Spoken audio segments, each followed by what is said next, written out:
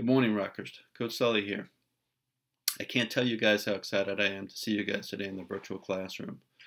We've gotten so far away from our normal routines, the interactions that we share with each other.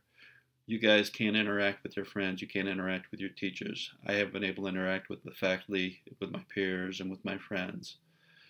It'll be nice to get back to a semblance of routine. And one of the hardest things that this pandemic has done for us is this social isolation that we're going through.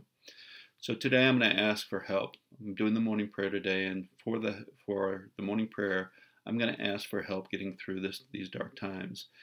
And the person I'm going to ask for help has always been there. She always advocates for us. She's always been there for me. She has always told God yes whenever she was asked. I want to do a prayer to Mary today. And today being the feast day of Our Lady of Quapaw makes it appropriate for sure.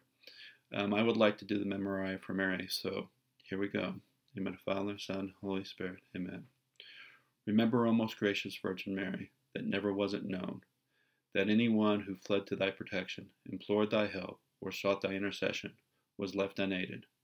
Inspired with this confidence, if I fly unto thee, O Virgin, O Virgin, my mother, to thee I come, before thy I stand, sinful and sorrowful.